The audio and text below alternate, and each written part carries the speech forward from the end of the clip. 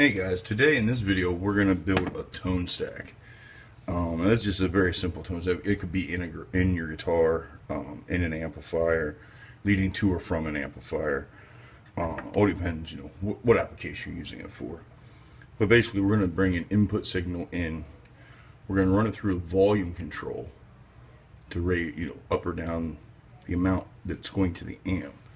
Sometimes you don't want to be loud. Sometimes you want to scream. So that's what the volume control is for. Um, this will end up being the master volume control for the Leslie that we're building. And then we're going to add a tone control. And we're going to add a modern day 047 capacitor, and orange drop. Uh, that'll go here, be grounded back.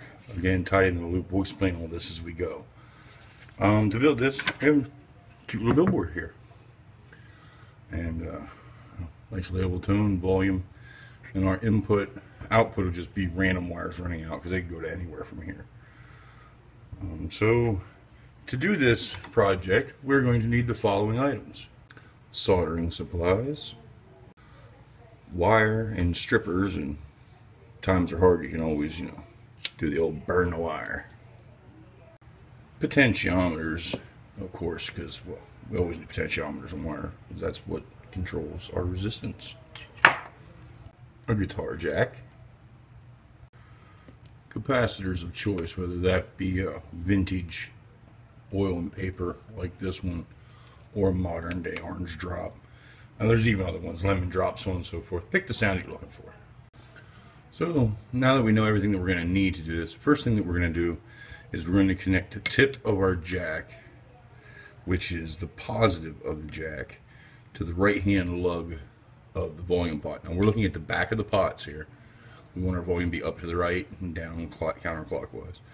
So we're going to take it from the tip, which is this lug over here on this side, over to the first lug here. And we're going to bring the ground from the the sleeve lug here. We're just going to bring it around here and put it on the back of the volume.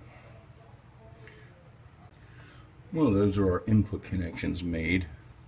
Uh, again, it's just the sleeve comes into the back of the pot and the tip comes into the right hand lug of the back of the volume pot.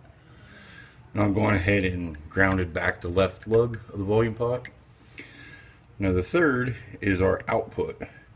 So that's what's going to go off to our amplifier or preamp, whatever you're using. But it also has a jumper that comes around over to this side to the tone and that's what bleeds off the additional frequency through the capacitor into the ground of the tone. So we're going to put in that jumper wire now and the capacitor now as well as since it's a double wire going into this one terminal here in the center we're going to stick them both in at the same time before we solder them. One will again be for the output the other one will come across here and connect to the tone controls uh, left hand lug here